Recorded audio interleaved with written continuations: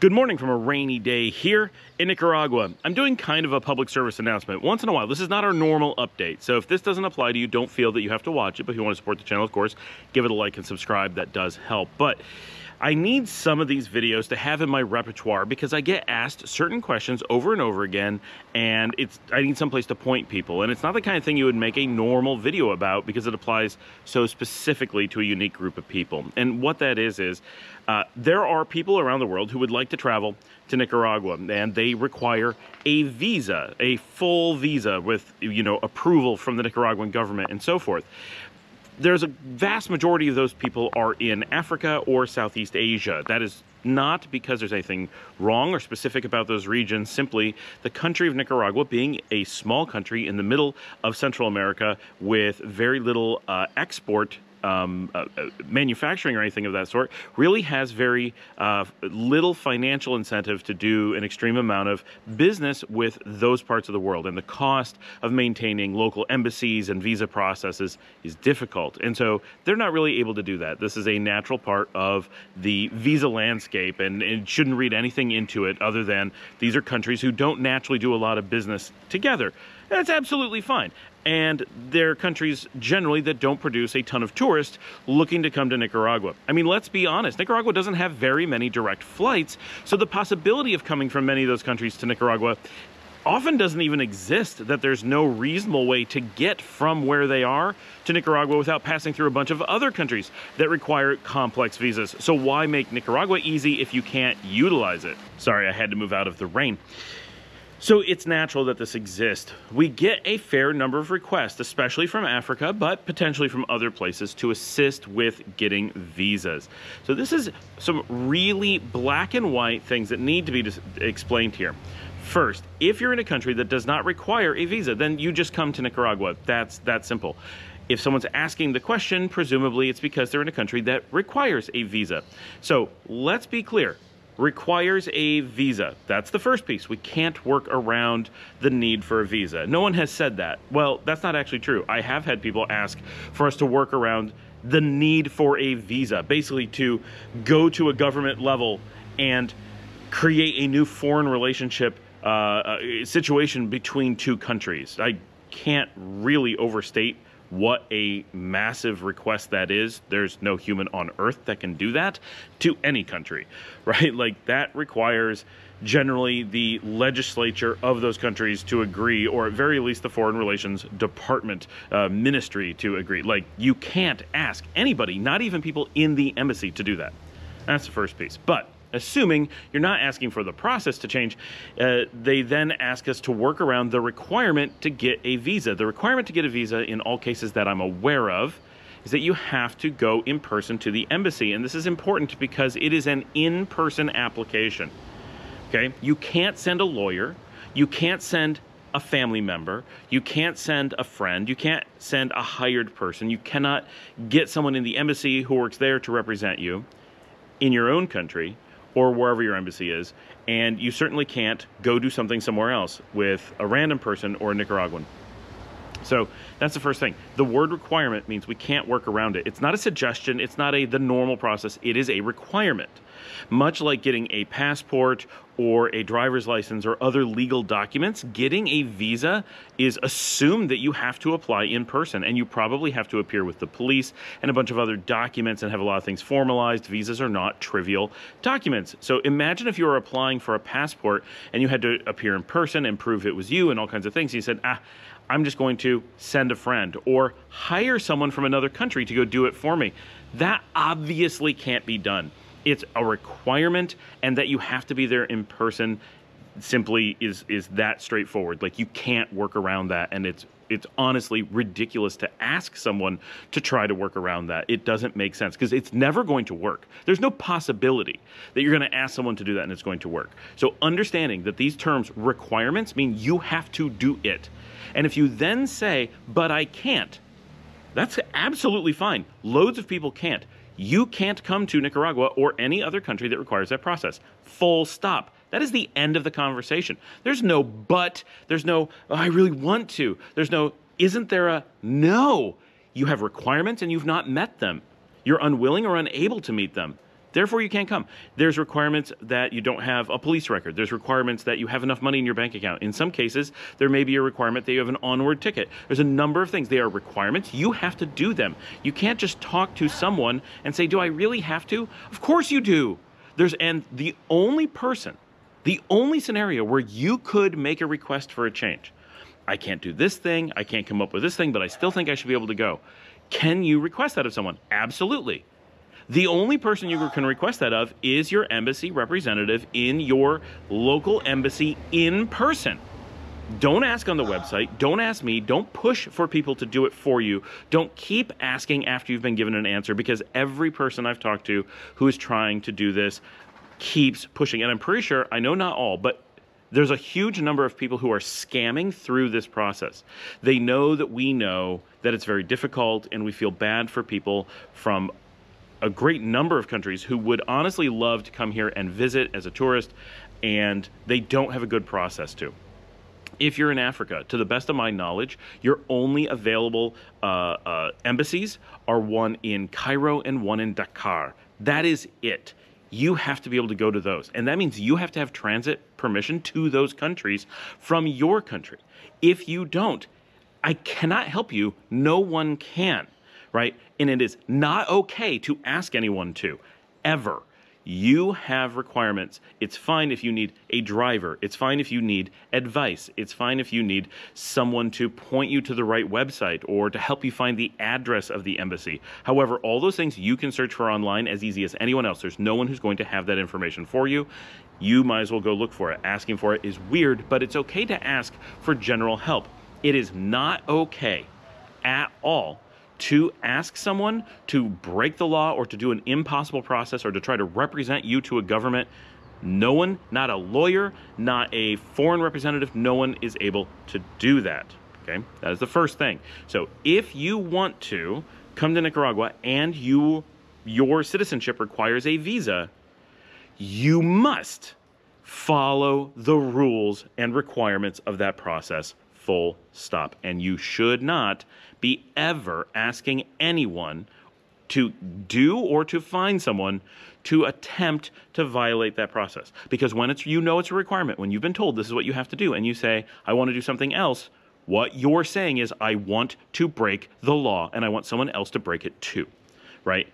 That's what requirement means. This is not, oh, this is the suggested process. I want to try a different process. This is the required process. So not doing the requirement is not legal. Okay? So don't ask. It is not okay to ask me. It's not okay to ask other people. It is not okay, to post asking for that. Okay. Now, the next thing.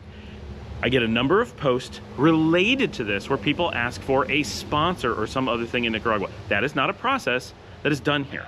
So you don't ever need that. Do not ask it on the channel. No one needs to sponsor you. You do not need contact with a Nicaraguan. You do not need to talk to someone who's here in Nicaragua about getting a visa or permission to travel here. You have to talk to same people as before, humans in person in an embassy.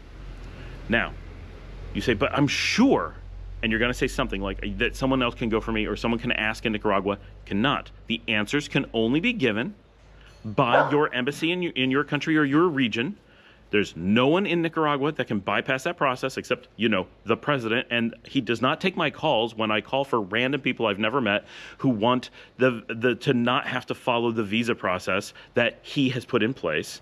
Right? That is not how this works. So don't expect me to somehow work my way up the ranks of the government to the point where I can call on people to change the immigration laws for you. That is not possible, nor realistic or sane. That you then ask all these things of, well, I need someone in Nicaragua. You do not need to speak to someone in Nicaragua. That will not help you. You are just wasting time if you're being honest. And I don't think normally people are because this there's no reason to make this request. If you are trying to actually come here, it doesn't help you. It has nothing to do with the process, right? So don't ask for references or guidance. What you may need is an address of a hotel you're staying at, but you get that from, you know, Hostel World or whatever. They give you the address when you pay for the hotel. No big deal Right, so you don't need to talk to someone about that. We don't know the address of your hostel any better than Hostel World does. They have the actual address. They can confirm the reservation. You're going to need it from there anyway. The other thing that we get asked is, can someone here run around and, and do errands, go to an embassy, talk to someone, get information? No, we cannot. This is different. This could make sense, right? And I've had this happen, and it's like, it seems crazy, but it's like, okay, I can see maybe. Embassies do not allow a third party to walk in the door to talk to someone about you. That's unfortunate that they don't let that happen. But just because we have an embassy here that we're able to get to, you can't ask someone here or pay someone here to go represent you. You can try that, and as long as you actually pay them, okay, but be aware they're not allowed in the door. So you're paying money for no results, guaranteed. They will never be allowed to speak to an, an, embassy representative the moment they say, I'm asking for someone else, because they have to show all their documents to be able to get in the door. And they're going to say, okay, show me your documents. They say, well, it's for someone else. They're going to be like, you got to go. That is the process. So you cannot ask anyone to help with these processes. You must find your way to an appropriate embassy. If that is too much work, or your personal visa situation doesn't allow you to go there, then you have your answer. In the first case, you're deciding that coming to Nicaragua is too hard, and that's okay. It is hard for some people. It's ridiculously hard for some people. That's unfortunate. I wish that wasn't the case. But just it, from practical perspective, it's not realistically possible to make it easy for everyone. And even if you got a visa, the flights are often so difficult that for a lot of people, that's impossible right? You just have to. And and part of their theory is the flights to get here are so hard and generally require so many visas that are so much harder to get than nicaragua's that if you balk at going to cairo or dakar to get a, a visa for nicaragua then you were never in a category of potentially coming here anyway. So that is how they look at it rightfully so. I understand that those things are a huge pain but they are not a bigger pain than trying to come here and getting back, right? You could easily get stuck in a part of the world where you have no path back to your home country or an extremely convoluted one that may take tens of thousands of dollars of flights and long stays and visas and, and waits to try to get back. So just things to be aware of. There's reasons why no one's making this easy because it's not easy. And it's, again, it's unfortunate, but sometimes that has to be the case just because of how visas and passports and stuff work worldwide. The last piece that I want to point out, and this is a little bit different than the rest, but uh, it's worth just noting how crazy these requests are. Keep in mind that these requests are made to me. I am not a citizen of Nicaragua. So it's not even like you're coming to a citizen and saying, Can you help me? You're coming to a non citizen. You're also, whoever's making this request is presumably also a non citizen. If you want me to do it, why don't you do it? At least you're part of the equation. I'm not in any way related to the situation. I am not even a resident of Nicaragua. So let's be clear.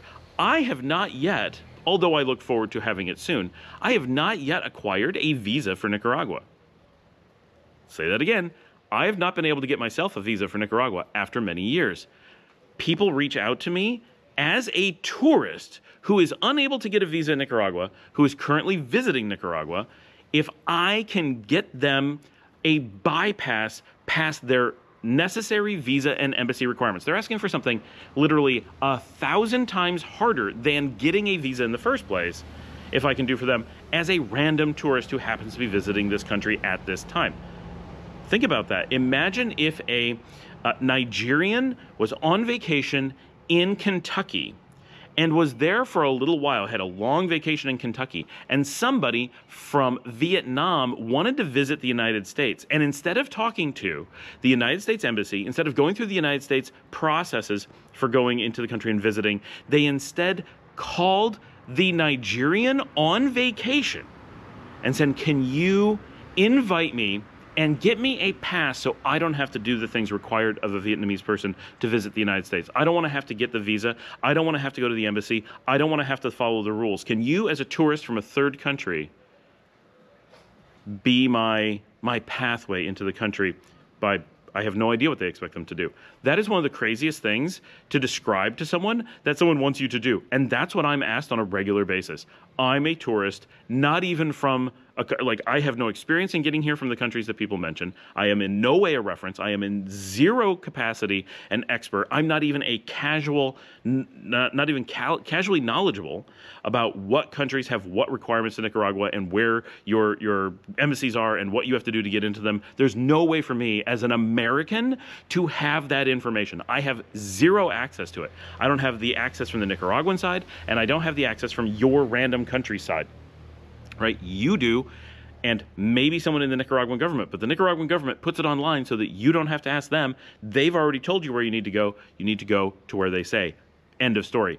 I am a random, random person, completely random tourist from a different country. I have no association, no connection, nothing to do with the scenario coming to me is absolutely crazy. How would you pick me? I don't even speak Spanish that great. I mean, I speak Spanish, but I'm not a native Spanish speaker. It's not even that close to being someone who can help. In like, if I had to go to an embassy and explain things like this, even if they let me in, I don't speak Spanish at embassy level. Like, this is this is truly crazy. So, if you're feeling the need to come to Nicaragua, but you feel you can't get a visa, you can't come to Nicaragua.